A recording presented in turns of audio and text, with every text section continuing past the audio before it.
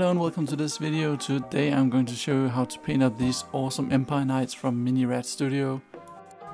I'm going to make this a really simple tutorial and I'm going to paint these models in a standard white and red color theme.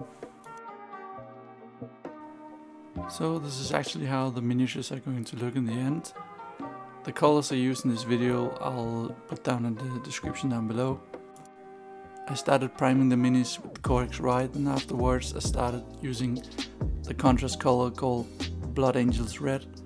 You could also use Mephiston Red for example and maybe even highlight it with Evil Sunz Scarlet but to keep this video as simple as possible I thought I would use some contrast paints.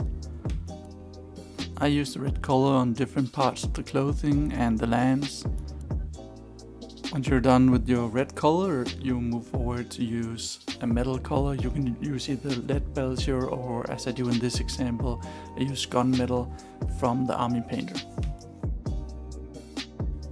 I use this color all over the barding on the horse and also on the armor on the rider.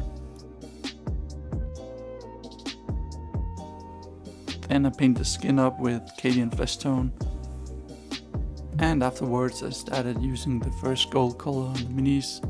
For this I used the color Greedy Gold from Army Painter, but pretty much any matte gold will do.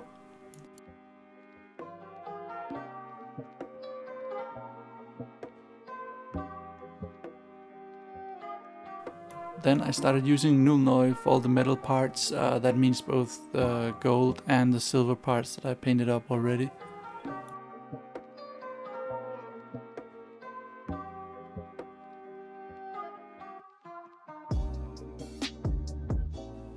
And to start painting the horses and to keep it as simple as possible also I started using the contrast called Apothecary White which I kind of feel like giving the illusions of shadow and also kind of helps with toning down Corax Whites a bit.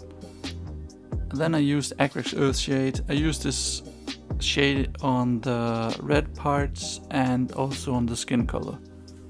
Then I highlighted the gold parts with Shining Gold from Army Painter then I highlighted the barding and the armor with plate metal armor from Army Painter. You should try to use this on spots where the light would be hitting the armor, but since the mini is this small, you don't have to be that precise with this, uh, since the more bright silver color will also help the mini pop a bit more. And then I finished the horse up by dry brushing on some Ulthuan white. If you would like the horse to pop even more, you could try to use white scar whatever for highlights in the end. But for this video I feel like it's, uh, it's fine for now. Alright, that's it for this tutorial, thanks for watching and I hope you enjoyed.